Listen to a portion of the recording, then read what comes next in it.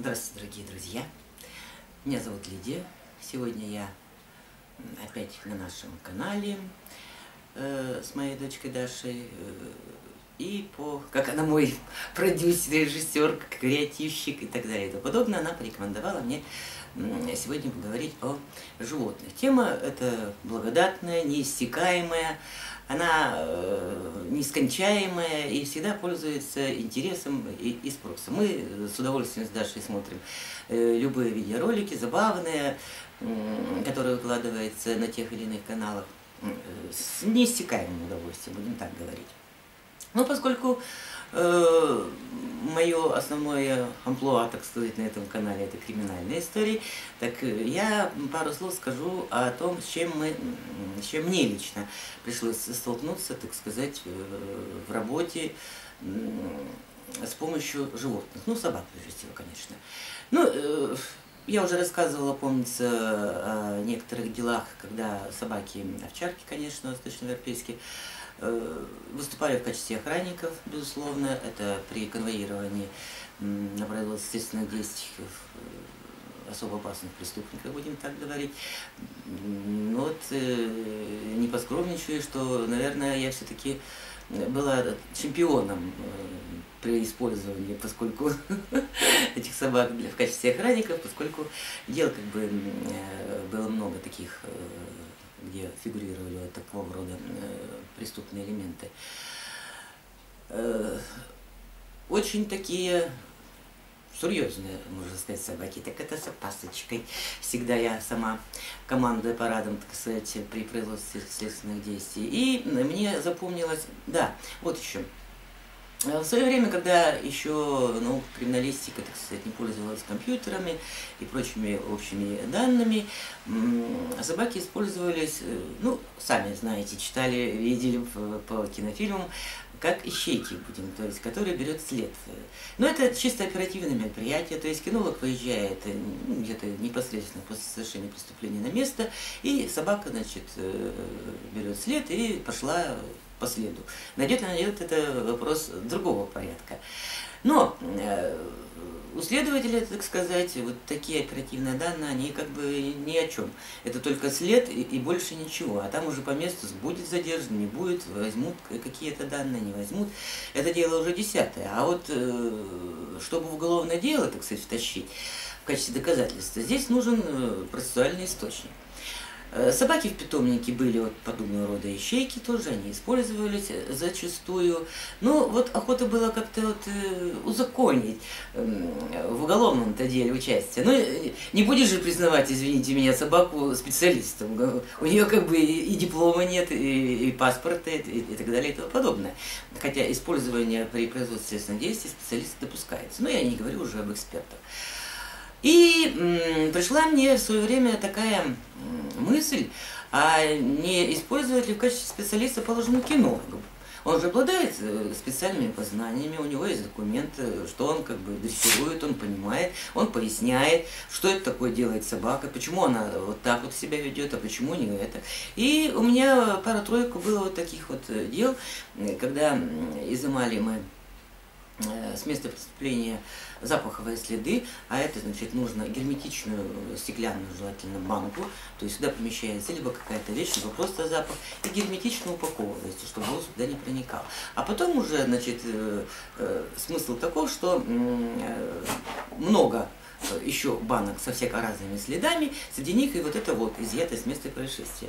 И вот собака, значит, под управлением, будем так говорить, кинолога, э, ей дается команда, что нюхай, ищи, ищи вот именно тот запах, то есть э, тот, э, который мы сможем идентифицировать э, с лицом подозреваемого совершения преступления. Э, это тоже соответствующим образом оформляется. И вот собака, значит, проходит там 10, положим, банок, останавливается около одной и, положим, гавкает. Э, либо еще какой-то сигнал подает. Вот специалист при этом говорит, поясните, что это такое, что это собачка говорит. Он говорит, а вот она, значит, обнюхав вот такие, такие 10 объектов, она вот именно около этого остановилась, и поскольку ей давали до того несколько запаховых следов подозреваемого, то вот именно тот, который изъят с места происшествия, именно ему он и принадлежит. Очень хорошо мы составляем протокол, ну, будем так говорить, осмотра с участием специалиста, кинолога, там собаки под кличкой такой-то, такой-то, которая вот так-то, так-то обучена. И, вы знаете, суды, ну, может быть, они не столь пристрастны были, это достаточно интересно, но они вот подобного рода следственные действия принимали в качестве доказательств, и они чуть ли не были иногда основополагающими, на которых уже базировались вот, и иные какие-то косвенные доказательства. Это так называемые адрологические вот эти вот следы запаха. И потом уже, конечно, компьютеры, то все, пятое, десятое, запаховые следы изымается, и потом уже с помощью техники закладывается там по программе э, уже в компьютер, там не надо, так сказать, никаких каких-то особых познаний, как лаборант выступает и выдает заключение. Это уже адрологические экспертизы, будем так говорить, направляем запаховый след, и тогда уже он как эксперт поступает и дает заключение о принадлежности того или иного запаха тому или иному лицу, либо там еще чему-то. Мне вспоминается еще э, одно дело, попало оно ко мне и приняла его к производству достаточно угробленным, ну, как это часто бывало. Доказательств по нулям, э, даже при производстве первоначальных следственных дел, дело такое долгоиграющее, длительное, то есть прошло уже года два-три, наверное, речь шла об ОПГ, э, так мы называли организованная преступная группировка. Сами понимаете, что доказать существование ОПГ достаточно сложно. Э, мало, так сказать, кто идет на контакт со, со следствием, с оперативниками, будем так и закладывает э, всех и вся, кто в чем, куда и, и как, чтобы можно было как-то это потом зафиксировать. В оперативном плане они существовали, то есть оперативное дело заводилось на каждую ПГ, как-то прослеживали, чего-то как-то там предупреждали, ну и все. И вот попало вот это вот дело, на счету которых были убийства и прочие дела, но потом э, э, как-то их разбили, будем так говорить, э, эту группировку. И ну, за те или иные незначительные такие преступления усадили в места лишения свободы различного рода. И вот я когда приняла дело к производству по указанию прокурора, ну-ка, ну поищите-ка, ну-ка, вот значит, проведите комплекс следственно-оперативных мероприятий, и в том числе были данные о том, что эта группировка обладала ну, достаточным количеством оружия. Э, и автоматов, пистолетов, э, взрывчатых веществ, гранаты там и т.д. Ну, достаточно большим. Ну, по нашим меркам, будем так говорить, республиканским. В те времена еще это все было как-то в нове. Это был единственный, можно сказать, экземпляр.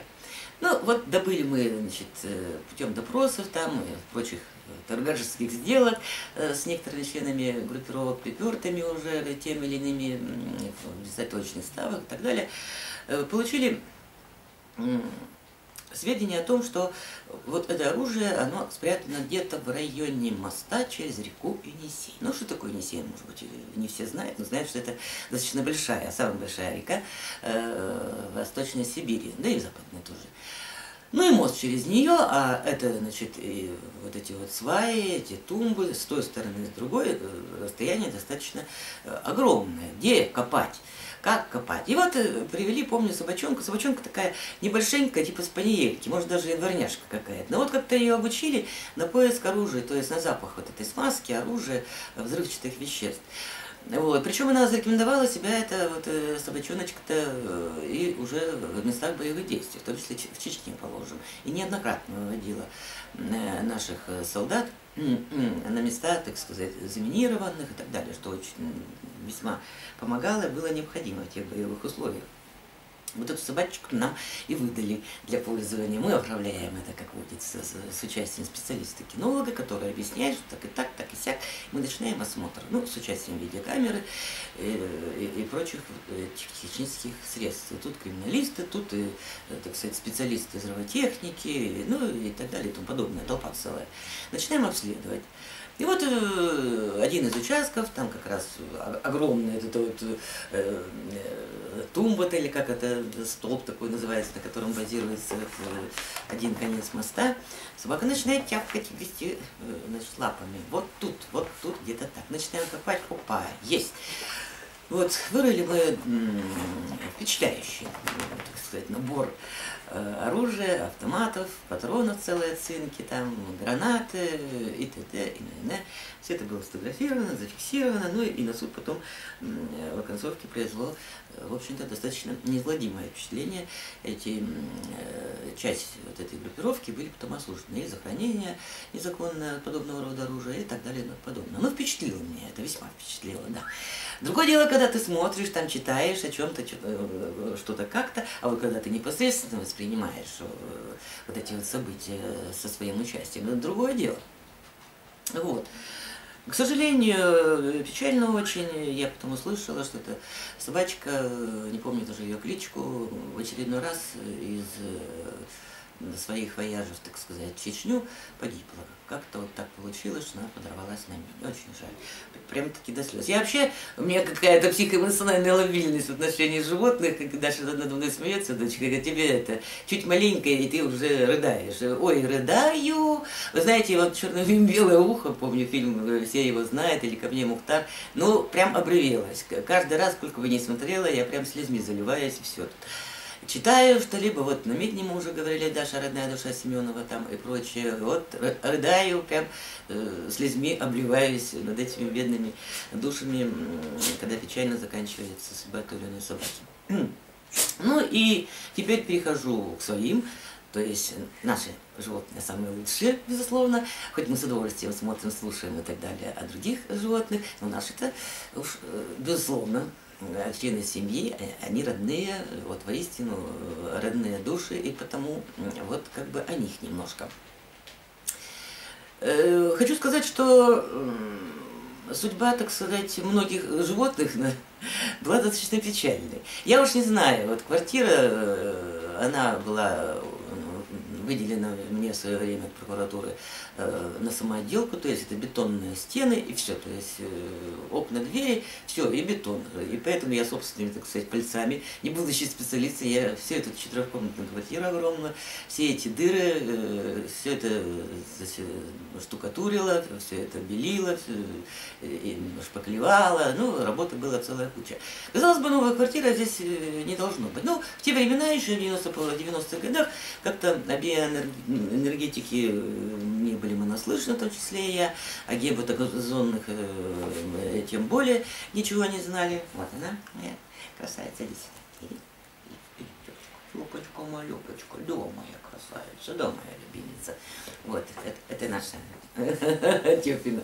Это уж непременно при съемках она должна присутствовать. Так вот, и тем не менее, значит, э, ребенок мой, Даша, дочка, будучи малышом, ну, все дети, естественно, конючат э, животное какое-нибудь, собачку, кошечку, птичку, хомячка, того всего. Были у нас все, будем говорить. Были и попугайчики, были у нас и хомяки, были и рыбки, и все это как-то вот э, потом издыхало по тех обстоятельствах. Ну, хотя уход был, и все это ухаживали мы, но тем не менее. Э, печально все это было. Было несколько э, кошек. И вы знаете, два балкона, значит, э, в квартире. Вот один из балконов, он как бы двойной, то есть с соседями один, перегородочка такая бетонная, знаете, вот такая пологая. Вот с этого балкона, что только откроешь, вот эти вот коты, мы уже даже как-то здесь вспоминали, сколько ж котов-то у нас убилось. Вот вы знаете, э, вот на этот бортик-то, так сказать, э, вспрыгивают, и потом лезть и падают. Девятый этаж все-таки дребезги, конечно. Жаль, великий жаль. И вот так, э, значит, их было несколько. И не только у нас, а у соседей, помню, бабушка за внуком ухаживала, ну, так сказать, великовозрастный, и учился, родители в Монголии. Вот она, значит, э, блюла его. Кот у них был Васька, помнится, первый жених нашей Лорочки, кошечки, единственный приплод был. И тоже вот таким же образом убился. Уж так горевала старушка, так горевала. Э, вот такая вот незавидная судьба была у этих животных. Потом, значит, у нас сын Андрей умер, потом муж мой, отец Даши э, Туленча, Цель Небесная, тоже умер. И вот тут как-то призадумались, что-то непонятное. И сестра моя, Галя, Говорит, дедушка, э, однако надо осветить квартиру, это вдруг поможет. Ну, надо, надо, привезли священника, осветил, как бы все это э, с той поры э, как бы прекратилось. Не знаю, уж это помогло или что-то другое. Тем не менее, вот э, сразу после этого дочка принесла кошку черную, черную с белым галстучком, Ларисочку, Лурочку незабвенную нашу. Вот прожила она у нас вот 15 лет. Ну, возраст достаточно так сказать, солидный для кошки. И вот три года назад она умерла от старости. Как мы ее не таскали, мучили бедную целый месяц, и капельницы, и уколы, и т.т. и т.т. Тем не менее, умерла, с почти мы ее похоронили. Но, тем не менее, вот у Даши она вот неизгладимая след оставила. Ну, понятно, 15 лет это не один день. Мы настолько к ней привыкли, настолько она была э, нам ко двору, ко душе, что вот так вот. И вскоре, э, вернее, вот уже 11 лет назад, по старшинству уже начнем, да, э, Даша, до этого у нас были собаки две. Э, была овчарка, и вот, знаете, один далеко не прекрасный момент. Мы пошли с ней в магазин, я нагруженная пакетами, я оставила ее около подъезда, говорю, сидеть. Я быстренько на лифте поднялась, значит, сумки оставила с продуктами в коридоре, Тут же спустилась, собаки нет. Вот увели каким-то макаром, я уж не знаю. Ну, бывают такие спецы, как-то вот специально приманивали. Как она пошла с чужим человеком, тем не менее, как мы не искали, как мы их. Нет, пропала овчарка наша. Потом решили завести боксера ну, породистого щенка такого, уж там от какого-то, тогда бум такой был на домашних животных, непременно породистых, еле-еле дождались своей э, очереди. Вот, э, значит, у нас э, боксер этот. Там уж все прививки, всякие купирования, эти прогулки, витамины, уколы, бог знает что. Все это соблюдали от и до, но тем не менее, очень они уж нежные, эти породистые собаки в пятимесячном возрасте подхватила энтерит буквально в течение суток сгорела. Мы даже не успели э, ветеринара вызвать. Э, да, в общем-то, как говорил ветеринар, что вряд бы что-то тут помогло. Похоронили собачку. После этого вот э, Даша, значит, смотрю, так это значит, дочка, вот собачка. Я нет, были, плавали, ай-яй-яй, собачку, ай, истерики. В общем, короче, несмотря на всякое мое сопротивление, Э, собачку вот эту вот э, она и принесла. Назвали мы ее Кэрри. Э, ну, будем так говорить, мать у нее как бы спаниель чистокровно, а с кем скрестилась, непонятно. И получилось вот такое чудо в перьях, вы знаете, только уши спаниельские развиваются, а сама она лохматая, как вот медведь. Лохматая, прилохматая, черная, и, и глаз не видно, и все это вот такое. И как мы с ней не прогуливались, я замоталась уже всем рассказывать. Всем интересно, что за собачка, что за порода, я всем рассказываю. Собачка, мамочка у нее спаниелька, как бы отец неизвестен, вот так. Как она смотрит? Я говорю, ну, видимо, она ориентируется как летучая мышь ультразвуком, поскольку все это э, морда занавешена у нее шерстью вот этой самой. Вот. Ну, э, Собачка, надо сказать, несмотря, поскольку она, будем так говорить, дворняга, особого ухода не требует, никаких прививок, никаких этих самых всякостей. Слава Богу, по сих пор она уже 11 год с нами в нашей семье, и э, ничего такого сильно с ней не случалось. Правда, в прошлом году э, пришлось сам к ветеринару по другому поводу совершенно обратиться. И она так это молодая говорит, а вашей собачки злокачественная опухоль грудной железы задней. Я там чуть около столика чуть не рухнула смотрового. Как? Она, ну вот так. Вот пока идите, мы тут в клинику, какую-то крутую, я ее повезла на такси, надо УЗИ сделать. УЗИ сделали, да, у нее злокачественная, причем с метастазами уже в матку, нужно делать операцию, причем в два приема собачка прожила достаточно, не вынесет, болезненная операция, нужно вначале внешне убрать, потом еще, пока заживет, ждать внутреннее, ай-ай, мы в трансе. Мы в трансе, повели мы пока собаку, ну, у нас тут в отеле, мы, наша ветеринарная клиника, мы уже 20 лет всех животных таскаем по, по тому или иному поводу. Прихожу, говорю, это, Валентина, ну, достаточно опытный ветеринар, Говорю, так и так, так и так. Она говорит, да, злокачественная опухоль есть, но оперировать ни в коем случае нельзя, потому что там задние вот эти вот грудные железы, там опухоль у одной вначале, другая тоже начала Если здесь прооперировать, непременно попадете на лимфоузел. Без этого никак. А лимфоузел повредите, значит, вся жидкость пойдет в, ну, в задние лапы. И все, это отек, и собачка месяца не проживет. Я, ой, ой, ой, боже мой, что делать, делать-то что нам? Ну, вот рекомендую уколы вот такие, там нового поколения, повышает иммунитет, то все пятое, десятое. Э, можно попробовать. Ну, решайте сами. Как решать-то, как решать-то? А там-то, говорю, в этой клинике, -то, они-то что, совсем безмозглые, почему сказали-то вот так? Ну, деньги. Вообще э, отвратительно, конечно. Вот так, э, такие прогнозы. Да к тому же она и фельдшер, она, ну, хоть она и фельдшер, но она же должна понимать, э, где лимфоузел, где чего можно или нельзя, каковы последствия. Ну, были мы весьма тогда просто озлоблены. Это что ж такое делается? Ну, нельзя же настолько-то, э, в конце-то концов. Начали колоть, ее укольчиками три месяца, мы ее водили, очень болезненный укол, бедняжка прямо же визжала. Но тем не менее, мы даже решили так, как-то прослышав, что если что-то не так в твоей жизни, ну, у людей положим, да, то нужно сменить имя. Вот смените все, то есть и жизнь тогда повернется по-другому мы дальше говорим, ну давай попробуем. Была она Кэрри, а когти у нее по линолеуму, она бежит, это тяп тяп тяп тяп тяп тяп мы назвали ее Тепу. Вот уже, так сказать, два года она у нас э, перекрестилась, будем так говорить, она у нас Тепа, не знаю уже, поэтому, по уколам ли, или по тому и по иному. Опухоль, э, как бы вот эта вот опухоль, она или капсулировалась, или что, может, метастазы не дали внутрь, но по того, э, собачка пока вот два года живая, здорова. Э, относительно аппетитом отсутствия не страдает, э, весела. Вот, и жизни мы не представляем без нее. Мы как-то месяца два назад я отвела ее на стрижку очередную к парикмахеру ветеринарному. Ну, э, процедура это там когти, стрижки, уши, все это зубы, там все эти обиходы сразу, комплекс мероприятий где-то часа четыре занимает, я ее оставила. Сейчас домой тут даже с работы приходит, собачки нет. Мы настолько привыкли, что накидается сразу, э, прыгает и скачет, и настолько радуется, что э, ну просто вот, ну пустота, вот пустота, вы знаете, нет члена семьи, и это настолько вот, непривычно, это, это невыносимо просто-напросто, да. Привязанности. Э, вот э, помню, был такой случай, металлический гараж у нас вдалеке, и каждую весну, значит, осень я там уборку затеваю. Как-то мы, э, она еще молодая была собачка, наверное, годик ей всего был, мы с ней пошли э, в гараже управляться. И вот, значит, я сунулась в угол дальний, смотрю, там что-то серое, знаете, вот такой футбольный мяч серое, что-то вот такое вот, знаете, как вот, вот капуста бывает, высыхает, листья вот, э, превращается, как пергаментное такое, да?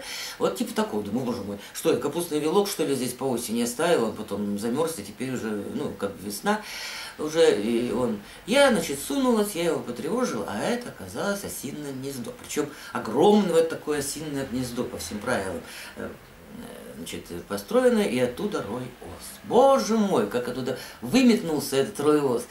Ну, э, я ай-ай, машу руками, кого там махать. Э, на собачку тоже, пару-тройку ей раз, видимо, досталось, в нос там или куда-то, как собачка эта понеслась невзирая, так сказать, была без поводка, она неслась, обычно так потешно летит, она когда обросшая вся из себя, она чистый пылесос, она летит, за ней вот клубок этой пыли, она все это подбирает, поскольку низкая, и все это чуть ли не до земли, э, вся эта шерсть, э, ну, то еще зрелище, и уши развиваются, как у слоненка этого Бэмби, или олененка Бэмби, и она как понеслась, я за ней, гараж еле прикрыла, я бегом, так она вперед меня, через дороги, невзирая там, э, Бог миловал, так за эти машины и прочее, она машины не боится, еще не ученая.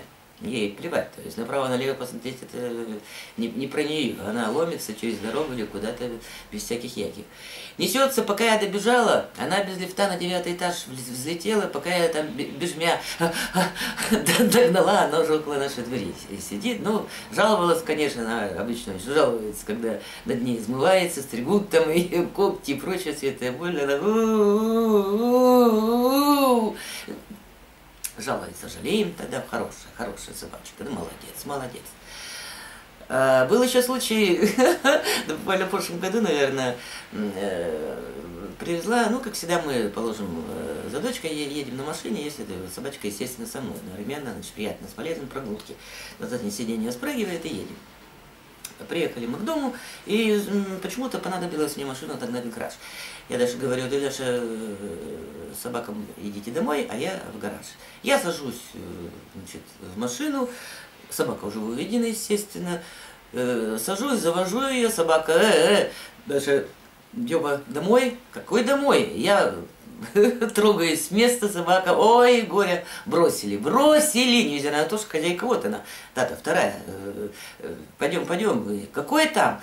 Бежать, она неслась за моей машиной, просто невероятное количество, даже там оборалась, кричала ко мне, ко мне, домой, домой, не, не.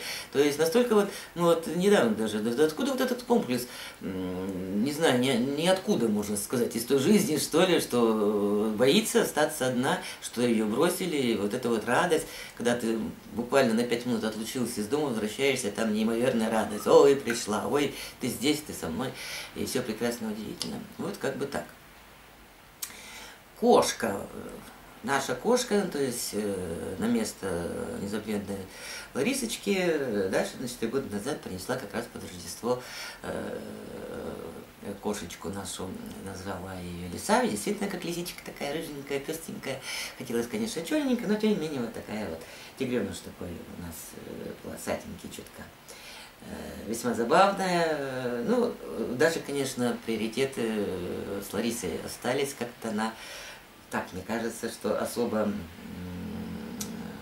лесу, ну, любит, конечно, и прочее, но вот как-то вот э, душа э, ее осталась э, половинка, какая-то частичка именно с Ларисой. Ну, лиса, конечно, забавная до невозможности. Махонькую принесли, ну, месячная, совсем комочек такой. Мы говорим, ну, как ее, например, собака наша воспримет, все-таки новое животное, мало ли чего. Даша держит э, лесу на руках, я, значит, придерживаю собаку в зале мы около себя, Тёпина на поводке. Значит, так, спускаем тихонечко, Даша ее спускает э, на э, пол Тёпина. Так, немножечко к ней подвигается. Так, что это такое? Наша лиса месячная, Лезь ее мордой, в смысле лапой по морде. О, ну нифига себе, я тут хозяйка и прочее. Нет же, значит, вот такой, э, можно сказать, пришлый. Ну, вот так, вот такая вторая хозяйка появилась, поэтому достаточно э, забавно за ними наблюдать, как они носятся друг за другом, как э, лиса, значит, принимает боевую стойку и по морде ее и, и так далее, и прыгает там э, все эти боевые стойки. Достаточно э, забавно все это наблюдать. Любимая забава – это залезть под, под одеяло, под подкрывало, под половичок и выглядывать, например, или не выглядывать вообще коробки. Любая коробочка, только она появилась, там посыдочка пришла какая-то на полу. О, коробочка, коробочка, быстренько прыг, сидим в коробочке. Хорошо, чудесненько. Или пакет э, там целлофановый, неважно, в пакет мы туда забираемся, и оттуда выглядываем, либо нет. Любимая, значит, э, забава. Ну, не могу сказать, что... Не могу не сказать э, о собаке еще, что... Ну, они вообще-то животные, конечно, ревнивы. Но вот э, наша собака весьма ревнива. Не дай боже, при ней, например, мне Дашу обнять дочку. Все, там начинается подпрыгивание, эй, эй, это что такое? Или засмеяться. Вот не любит, когда мы, например, начинаем хохотать. Вот начинает лаять, то ли она, может быть, как насмешку над собой воспринимает этот ход, хотя я вовсе даже не по поводу ее. Тем не менее, не любит. Ну, еще, ну это на многих, наверное, собак.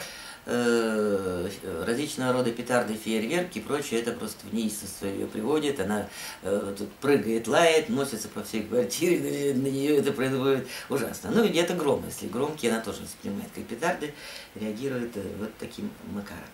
Ну, а в общем-то, достаточно мирно, уживается наше животное, и поэтому, э, конечно, Даша ведет э, фото-видео летопись э, любым позам там и играм, каким-то забавным случаям. Все это у нас регистрируется с давних пор, все это складывается. И напоследок хочу сказать о моей вот, неизбывной вине в отношении одного еще животного. Несколько лет назад года три, наверное, Даша вдруг захотелось птичку, еще одну, канарейку. Ей подарили на день рождения канарейку, клетки, там все, Даша ухаживает, там моет эту клетку, кормим мы и прочее. Не могу не сказать еще в отношении вот этой канарейки. Когда ее только принесли, эту канарейку, а поставили в кабинете у Даши, где компьютер и прочее, на, на письменный стол. Ну, естественно, э, этот кабинет всегда двери закрывались, если там никого. Но если Даша положим там, то понятное дело, что э, дверь открыта. Я никогда не забуду, это все запечатлено. Значит, э, когда э, собака, она, в общем-то, небольшого роста, э, письменный стол, ну, знаете, стандартный письменный стол, когда принесли, боже мой, это что такое? Птичка, птичка, она же как бы охотница такая. Она передними лапами встала на стол, вытянулась вся полностью и созерцала.